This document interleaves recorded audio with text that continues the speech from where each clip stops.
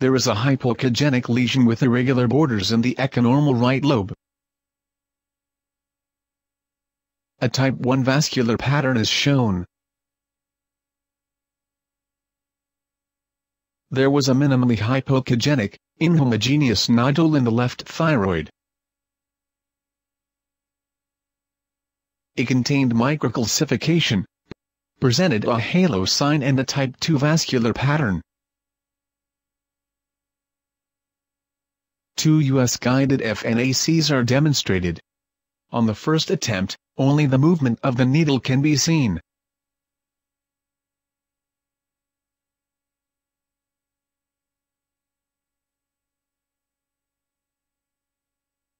However, on the second occasion we can identify the tip of the needle, as well.